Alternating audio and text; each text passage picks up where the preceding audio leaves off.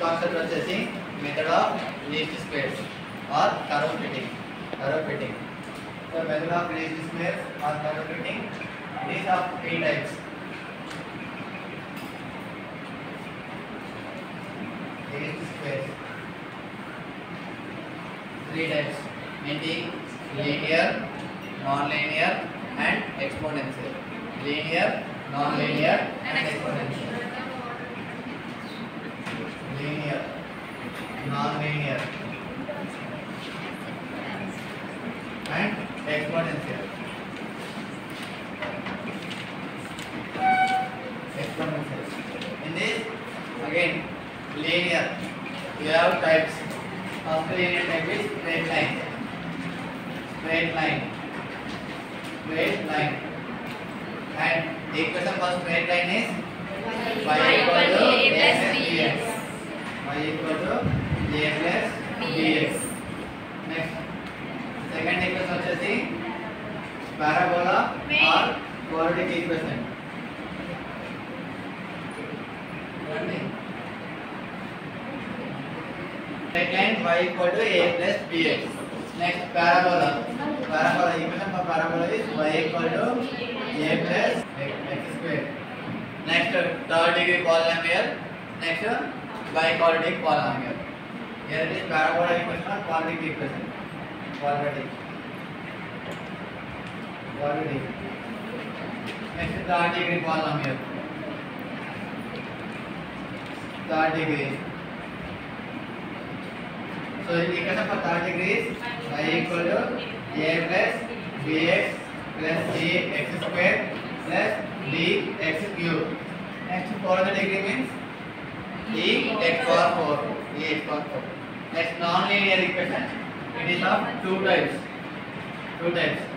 So, first equation is y equal to a e power bx and y equal to a b power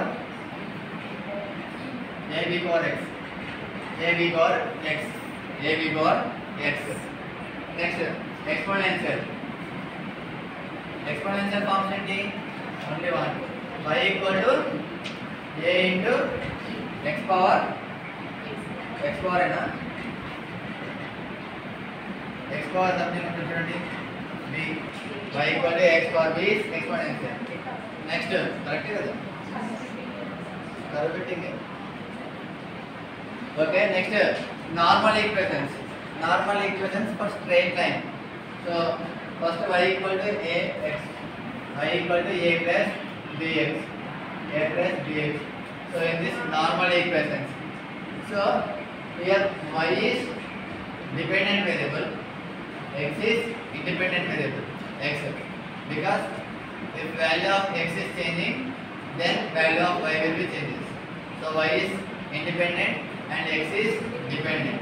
And whenever you are writing normal equations for any equation then first apply sigma apply sigma sigma for it so normal equation is sigma y equal to next a is constant if, and if you are if there is any constant in your equation then just keep n n before the constant a plus b b is constant so sigma x sigma x b into sigma x. Next. Again second normal form.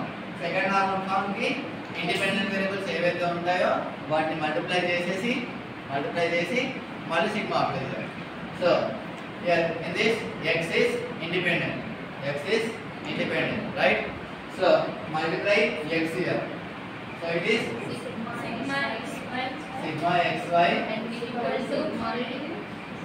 equal into sigma x a a is constant see a into x so a a is constant a in before sigma so a into sigma x plus b into sigma y square okay now you are having any independent terms no sir. no so this is these are your normal equations for straight line just uh, first uh, directly you need to know the equation equation ఈక్వేషన్కి డైరెక్ట్గా sigma apply చేయాలి. Constants ఏమైనా ఉంటే constant ముందు ఎన్ పెట్టుకోవాలి. ఎందుకంటే మీకు class కూడా చెప్పండి మెథడ్ ఆఫ్ లీచెస్ పెట్టినప్పుడు అబ్జర్వ్డ్ వాల్యూస్ ఎక్స్పెక్టెడ్ వాల్యూస్ ఉంటాయి. వాటి మధ్య సపరేషన్ అంటే డీవియేషన్ చూసుకోవాలి. డీవియేషన్స్కి స్క్వేర్ అప్లై చేయాలి. స్క్వేర్ అప్లై చేశాక వాటి డెరివేటివ్ చేస్తే ఎన్ టైమ్స్ చేస్తాం మనం. ఎన్ వాల్యూస్ ఉంటాయి కాబట్టి ఎన్ ఎన్ వస్తుంది. ఎన్ టైమ్స్ ఉంటాయి కాబట్టి ఎన్ వస్తుంది. అందుకని చెప్పేసి కాన్స్టెంట్స్ ఏమైనా ఉంటే కాన్స్టెంట్స్కి ముందు ఓన్లీ ఎలా కాన్స్టెంట్ సింగిల్గా ఉంటే వాటికి ఎన్ఎన్ పెట్టుకోవాలి. మిగతా అన్నిటికీ ఏం అవసరం లేదు. మిగతా అన్నిటికీ కాన్స్టెంట్ బయట పెట్టేసి ఏ వేరియబుల్స్కి మాత్రం సిమ్ అప్లై చేయాలి. Okay next coming to parabola parabola so parabola equation ఏంటి?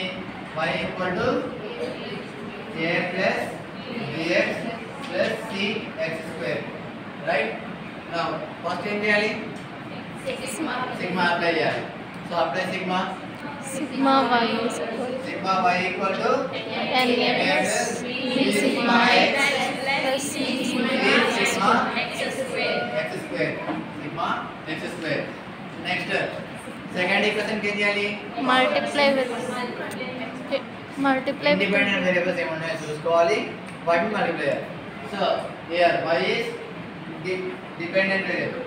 x and x square are independent variables.